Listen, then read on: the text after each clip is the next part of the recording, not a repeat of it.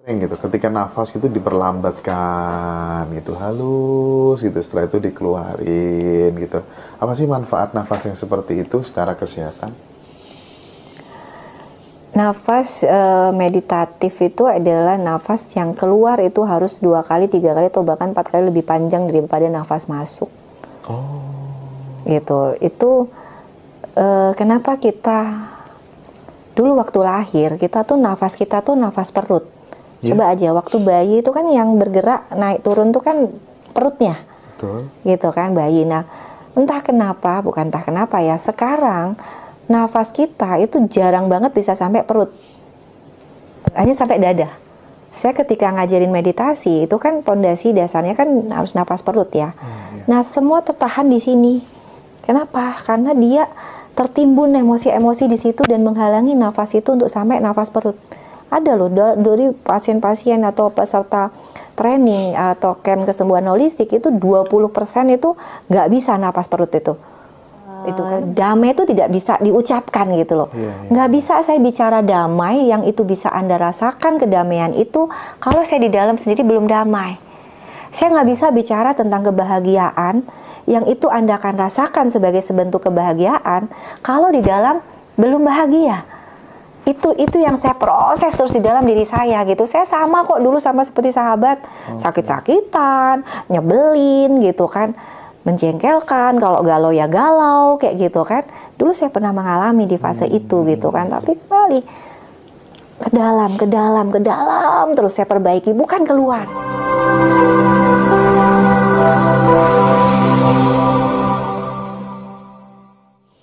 Uh, menurut Bu Sinta gitu keyakinannya Bu Sinta sebenarnya apakah ada kira-kira makhluk lain gitu ya uh, kehidupan lain gitu di luar bumi ini gitu keyakinannya Bu Sinta bagaimana?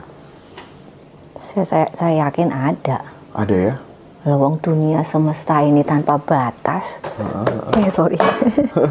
gak apa-apa, gak apa, biarin tanpa batas gitu kan pasti ada bumi-bumi yang lain di semesta okay. yang tanpa batas ini bisa jadi di planet-planet lain eh, iya. ada kehidupan gitu ya bahkan kemarin saya dengar seorang teman tuh cerita gitu kan bahwa dia pernah belajar sama guru A gitu kan dan ternyata di negara B gitu kan terus uh, saya lupa namanya siapa gitu kan nah setelah diteliti itu ternyata potongan rambutnya uh, apa namanya po ini gitu kulit uh, potongan kulitnya itu diteliti di laboratorium tuh DNA-nya nggak nggak nggak ada nggak sama dengan uh, eh, DNA manusia di bumi ini gitu kan. Berarti dia dari mana gitu kan ya walau iya, alam ya iya, tapi iya. cerita dia seperti itu gitu kan. Saya yakin nggak ada bumi-bumi yang di, lain. apa Amerika gitu ya di negara-negara yang sekarang konsentrasi betul untuk kemudian melakukan penelitian tentang alien dan lain sebagainya ya itu mungkin bisa bisa jadi. Cuman bentuknya tidak harus seperti itu gitu Betul, ya bu ya. oh, oh. Karena, bisa jadi juga sama cantiknya sama iya, gantengnya kayak gitu kan. kan ada itu informasi terbaru tuh. Tahun 2025 alien akan diperkenalkan dideklarasikan gitu ya.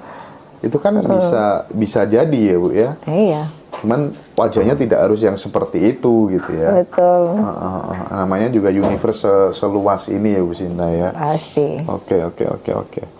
Jadi kita siap-siap teman-teman ya. Tahun 2025 berarti tahun depan gitu ya. Kita kenalan. Alien, ya, akan dideklarasikan gitu ya. Akan ditunjukin uh, ibaratnya di launching gitu ya. Uh, pertanyaannya alien itu baik nggak? Mau mau kita mau hidup bersama nggak dengan kita nah, gitu kan gitu ya. kalau kita bicara hakikat alam semesta itu kan selalu ada siapa yang kuat siapa yang dimenang gitu betul, kan betul betul betul betul nah kemudian ini bu uh, kalau dalam perjalanan uh, spiritual Bu Sinta gitu ya kenal sama namanya Abah Isa, kenal sama namanya Ayah Guru Saiful Karim dan lain sebagainya gitu. Oke deh, misalnya Abah Isa gitu uh, beliau sering gitu ketika nafas itu diperlambatkan gitu halus gitu setelah itu dikeluarin gitu apa sih manfaat nafas yang seperti itu secara kesehatan nafas e, meditatif itu adalah nafas yang keluar itu harus dua kali tiga kali atau bahkan empat kali lebih panjang daripada nafas masuk Oh. Gitu. Itu eh, kenapa kita dulu waktu lahir kita tuh nafas kita tuh nafas perut. Iya. Coba aja waktu bayi itu kan yang bergerak naik turun tuh kan perutnya. Betul. gitu kan bayi. Nah, entah kenapa, bukan entah kenapa ya, sekarang nafas kita itu jarang banget bisa sampai perut. Hanya sampai dada. Saya ketika ngajarin meditasi, itu kan pondasi dasarnya kan harus nafas perut ya. iya. Nah, semua tertahan di sini. Kenapa? Karena dia tertimbun emosi-emosi di situ dan menghalangi nafas itu untuk sampai nafas perut. Ada loh da- dari pasien-pasien atau peserta training atau camp kesembuhan holistik itu 20% itu nggak bisa nafas perut itu. Itu karena begitu banyaknya eh, emosi tersimpan di dada. Nah itu biasanya diderita oleh pesan cintanya dia pasti sakit paru-paru. Karena apa? Dia banyak menyimpan emosi-emosi di dalam dan nggak keluar. Biasanya diderita oleh orang-orang yang introvert. Gitu. Nanti itulah kita keluarkan di situ, gitu kan? Kita keluarkan eh, apa namanya emosi-emosi itu maka lega. Kemarin kan saya pernah cerita ya ada peserta camp yang uh, penyakit paru-paru kronis mungkin yang mungkin baru mendengar gitu ya. Kemarin ada peserta camp tuh paru-paru kronis sahabat. Dia uh, uh, apa?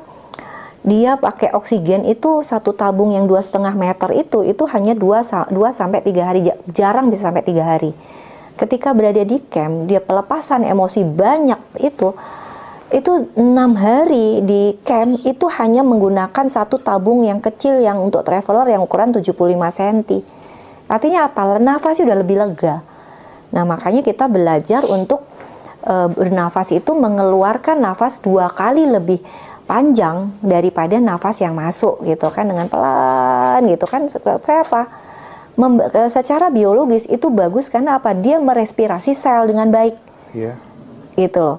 Dia merespirasi sel dengan baik dan membawa kotoran itu keluar. Secara mental dia membawa kotoran-kotoran mental itu keluar. Gitu. Dan kalau kita bisa melakukan itu pasti efeknya yang pertama adalah kita lebih tenang, Lebih tenang. lebih tenang. Gitu. Begitu juga kalau mau dikaitkan dengan MO misalkan itu harus bisa nahan nafas itu eh, lebih panjang Itu ada multi, kaitannya. multiple orgasme ya yang nggak tahu MO ya ada kaitannya gitu kita belajar olah nafas untuk menahan nafas itu lebih panjang sehingga men- bisa menahan ejakulasi lebih panjang Oke. Ngeluarin nafasnya maksudnya. Iya, lebih heeh. Panjang gitu ya. Dua Iya. kali lipatnya. iya kalau bisa malah empat kali lipatnya Wow. jadi kalau bisa Iya, kita iya, ya, naik tarik nafas cuman satu dua kali gitu hitungan dua detik, dua detik yang itu bisa 8 detik gitu kan Oke, Gitu. ini menarik sekali untuk saya tanyakan karena saya melihat oh rata-rata kok begitu, ada apa di balik ini semua kan gitu Bu Sinta ya. orang yang pemarah orang yang temperamental orang yang emosional pasti nafasnya pendek-pendek Oh iya benar juga sih. Iya. Bahkan katanya nafas itu bisa mempengaruhi umur seseorang juga kan ya. betul ya lihat aja anjing Nah, sama anjing kura-kura nafasnya gitu ya. berapa eh, apa nafasnya cepet kan gitu kan Iya. anjing nggak pernah eh, lama paling lama berapa tahun ya anjing itu tapi kalau kura-kura kan lambat lambat saya deh sampai 150 tahun kura-kura Galapagos itu sampai 150 tahun Nah, sekarang kalau dalam konteks spiritual ini kan kita biasanya sering diajari meditasi. Bagaimana sih tipsnya supaya kita tuh sering eh, sendiri bisa merasa merayakan keheningan gitu ya. Itu tuh bagaimana Bu? Biar kita benar-benar bisa ya tidak terini oleh pikiran yang gak karu-karuan gitu ya. lakukan proses meditasi itu 24 jam. Nggak hanya pada saat menutup mata saja 24 tapi lakukan jam. 24 jam. Dalam artian apa? Anda bergerak untuk menyaksikan apa pun yang terjadi di dalam tubuh Anda di dalam pikiran Anda. Oke. menyaksikan ya tidak memaknai tidak menganalisa apalagi menghakimi. Saksikan aja oh saya lagi bicara oh saya lagi marah Oh gitu. ketika menyaksikan kan berarti kita bicara EP ya. Saya ada satu materi kemarin kan juga kita bicara dengan EP ego personality gitu kan. Oke. Ketika kita menyaksikan berarti kan ada dua orang di situ yang menyaksikan dan yang disaksikan. Nah, kalau itu kita latih terus-menerus seperti itu, sahabat, maka kita akan lama-lama tahu siapa sih yang disaksikan dan siapa sih yang menyaksikan. Nah, sebenarnya siapa yang menyaksikan dan siapa yang disaksikan? itu yang yang disaksikan adalah tubuh kita, pikiran kita, dan itu tidak kekal. Hmm. Coba aja anda saksikan, misalkan sakit aja. Tadi misalkan ada pasien saya, bu saya sakit ke perut ini, kayak gitu kan. Saya paling, lah saya jauh. Kalau saya dekat, misalkan dia di camp kemarin, dia udah pasti saya kasih obat, pasti yeah, saya yeah. blower nih, yeah, yeah. saya blower selesai gitu kan. Tapi yang ada adalah karena jauh, saya bilang saksikan aja sakit ibu duduk tenang, pejam mata, rasakan nafas, saksikan rasa sakit itu dia tidak kekal. Tadi itu dia nusuk-nusuk misalkan, misalkan kalau kita bicara dia bilang sakit perut gitu ya. ya. Tadinya nusuk-nusuk, terus sebentar lagi dia jadi kayak dipelintir, sebentar lagi kayak ngembang, sebentar lagi dia tidak kekal, dia akan berubah terus-menerus dan itu adalah hakikat tubuh tidak kekal. Begitu juga dengan pikiran kita, tidak kekal. Dan kita bukan itu gitu loh. Oh Nah, yang menyaksikan siapa? Ya itulah diri sejati kita. Okay, okay, Kalau kita terus melatih itu, maka yang ada adalah kita pasti akan menjadi pribadi yang tenang, penuh cinta kasih. Karena apa? Sudah bisa berjarak dengan emosi-emosi kita, udah bisa berjarak dengan tubuh kita. Iya, iya, iya. Ya. Ini banyak ya teman-teman yang suka sama Bu Sinta ini keren banget ya. Ngomongnya juga enak gitu ya. Apa sih cara bicara agar disukai banyak orang gitu? dari tips tipsnya apa sih dari dalam dari dalam dulu barisan... saya dulu saya pernah ikut di ceritanya uh, uh -uh. kursus pengembangan diri GRP mungkin tahu gitu ya okay. yang ada malah jadi aneh gitu ya ya gitu aduh malah capek gitu rasanya uh. tapi ketika kita sudah di dalam yang kita bentuk gitu kan bahwa apa ya uh, damai itu tidak bisa diucapkan gitu loh. Yeah, yeah. nggak bisa saya bicara damai yang itu bisa anda rasakan kedamaian itu kalau saya di dalam sendiri belum damai. Saya nggak bisa bicara tentang kebahagiaan yang itu anda akan rasakan sebagai sebentuk kebahagiaan kalau di dalam belum bahagia. Itu itu yang saya proses terus di dalam diri saya gitu. Saya sama kok dulu sama seperti sahabat. Okay. sakit-sakitan nyebelin gitu kan menjengkelkan, kalau galau ya galau, kayak gitu kan. Dulu saya pernah mengalami di fase hmm. itu gitu kan, tapi kembali ke dalam, ke dalam, ke dalam, terus saya perbaiki, bukan keluar. Ya, Anda akan ya, capek ya. kalau nyari keluar, ke dalam. Oke. Okay. Oh iya ngelek ya teman-teman ya. Oke deh, abis ini aku ganti lagi ya. Aku ganti handphone tadi soalnya. Gak apa-apa, abis ini aku ganti lagi. Bentar ya, aku selesaiin dulu satu tema ini ya buat teman-teman semuanya. Yang lucu kemarin salah satu peserta camp itu datang-datang itu peluk saya dengan sambil nangis sesungguhkan sampai yeah, setengah yeah. jam nangis sendiri. Biar saya selesaikan ya Bu sangi saya katanya gitu. dia apa kenal di ngaji Rosso oh, terus gitu ya? apa namanya ikut camp gitu kan terus kayak hmm. mimpi ketemu Bu Sinta saya bilang saya mah bukan siapa-siapa nih saya peluk se sepuasmu saya peluk yeah, kayak yeah, gitu yeah, kan. yeah, itu gitu.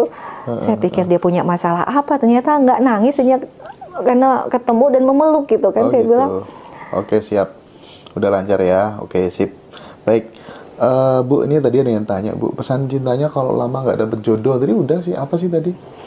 Udah umur eh belum dapet jodoh tuh banyak loh. Ibu-ibu yang susah banget lihat anaknya kayak gitu gitu kan. Kadang ada yang terlalu milih-milih ada yang kalau orang Jawa tuh dilewati adike gitu kan ya, ya adiknya gitu dilangkai gitu gimana bu? Iya kembali itu kan sebenarnya anda selama ini mungkin sedang mengikuti pikiran anda bukan mengikuti mau Tuhan di dalam diri. Bisa jadi dalam hidup anda itu sebenarnya anda sudah ketemu dengan jodoh anda, uh -huh. tapi anda tolak gitu loh dengan harapan-harapan anda sendiri. Hmm. Kurang kaya lah, kurang ganteng lah, kurang putih lah, kurang pinter lah, kurang agamanya inilah itulah. Belum lagi urusan sama orang tua. Wah, orang tua dengan sederet apa namanya kriterianya atau harapannya tuh kan eh, membuat anak itu akhirnya wes uh, si A salah, si B salah, si C salah. Ya wes lah sekarang anu sakarepe ibu ae gitu kan. Hmm. Tapi akhirnya waktu sudah berjalan. Hmm. Ibarat kereta itu ya udah udah ngalir gitu loh nggak nggak nggak retanya nggak balik lagi gitu yeah, kan yeah, yeah, yeah. itu aja kalau sakit setiap haid pesan cintanya apa Bu Sinta gitu katanya female problem ya hmm. sakit setiap haid pesan cintanya apa gitu narasumbernya ini namanya Bu Sinta Sari Saleh ya. Nanti ditanyain ya teman-teman ya. Sabar ya, gantian ya. Uh, apa menstrual problem itu itu terkait dengan denial of self gitu. Jadi sedang mengingkari keberadaan diri, sedang menolak feminitas, kemudian uh, apa menolak eh, prinsip-prinsip uh, feminim.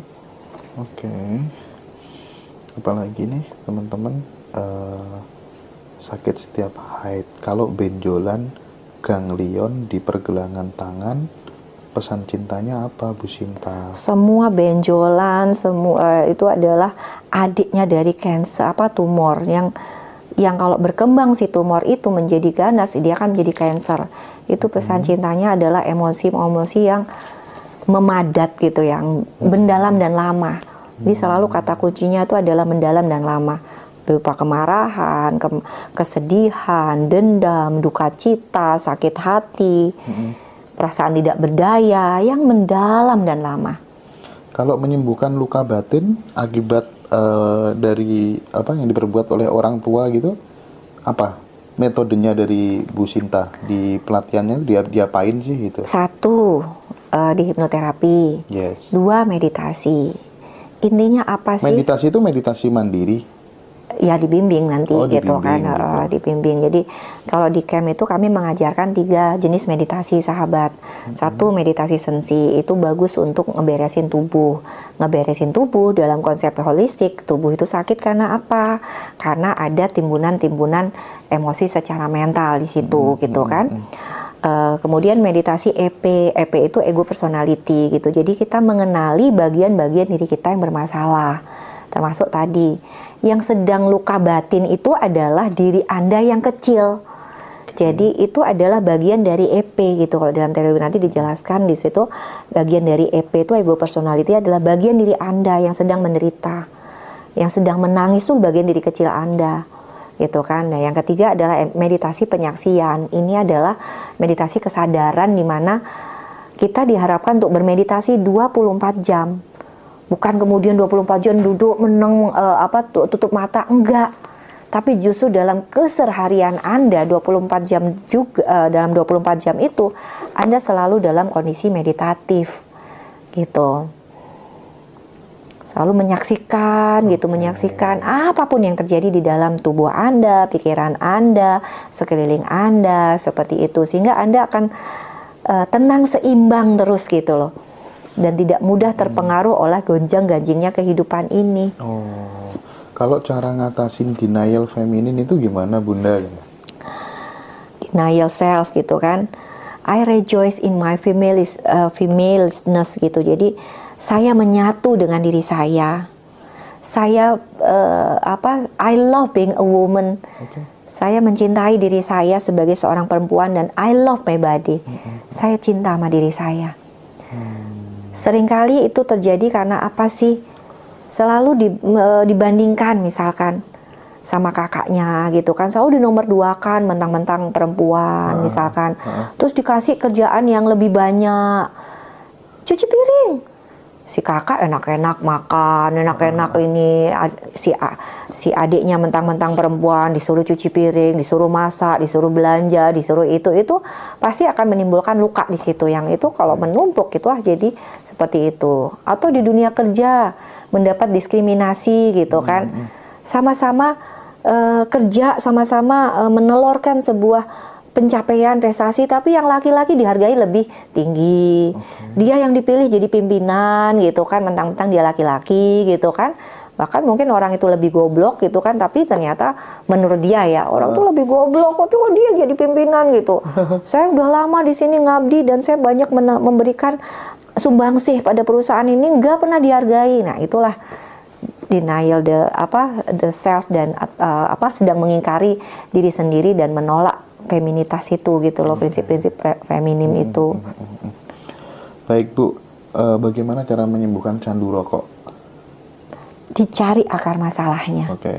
Jadi empat uh, contoh aja misalkan empat para pecandu rokok itu ketika didalami uh, akar masalahnya berbeda-beda maka Iya penyelesaiannya berbeda-beda gitu loh. Hmm. Makanya itu yang membedakan kami ini. Saya punya tim untuk uh, hipnoterapis gitu kan. Itu kami adalah clinical hipnoterapis. Nyari ke akar masalah. Kapan pertama kali dia merokok dan kenikmatan apa yang didapat pada saat pertama kali merokok itu yang kita okay. harus temukan. Hmm. Jadi tidak hanya sifatnya sugestif gitu yang nanti habis ini Anda uh, keluar dari kondisi uh, hipnosis ini Anda akan berhenti merokok karena mulut Anda tidak enak ketika merokok itu mah cuma tempelan. Yeah, yeah, yeah. Saya yakin kalau itu ada trigger lagi Anda pasti akan merokok lagi. Tapi kalau udah diketahui sampai akar masalah dicabut di situ, diproses di situ emosinya, seumur hidup itu permanen gitu loh. Okay, okay, okay. Nah sekarang mungkin terakhir Bu, empat tahapan kesadaran manusia. Oke. Okay yang pertama adalah kesadaran api. Kita ini kan terdiri dari api, udara, air, dan tanah. Iya. Iya kan? Dan itu semua sebenarnya adalah refleksi dari semesta di dalam diri kita. Okay. Nah, yang pertama adalah uh, apa tah uh, tahapan kesadaran itu yang pertama adalah kesadaran api. Orang seperti ini biasanya ya seperti sifat api deh mudah terbakar, meledak-ledak, meletup-letup, sulit menerima orang lain gitu kan. Kalau nggak sesuai sama dia, dia terbakar gitu kan, itu sifat api gitu kan. Nah, nanti naik lagi ke kesadaran udara. Ke kesadaran udara itu kita sudah mulai bisa lebih tenang. Kita lebih bisa uh, apa namanya mengipasi orang lain gitu kan. Mulai bisa melayang, tidak lagi tidak lagi harus membakar segala sesuatu gitu kan. Nah, yang ketiga adalah kesadaran air. Kesadaran air itu mendinginkan. Bisa uh, apa? Bentuknya itu sesuai dengan isinya. Ditaruh di gelas begini dia jadi begini, ditaruh di botol dia jadi begini gitu kan. Dia sudah mulai melebur dengan segalanya kayak gitu kan. Terus dia mulai bisa mengalir biasanya dari tempat tinggi ke tempat rendah dia mulai humble. Seperti itu. Dan yang paling keren adalah kesadaran tanah. Apa coba. Itu? kalau kesadaran tanah seperti apa? Engkau diinjak nggak iya, marah. Udah benar-benar membumi. Betul betul. Engkau diludahin dieein dikencingin di apa. Hmm. itu adalah udah nggak pernah protes. Oke okay, oke. Okay.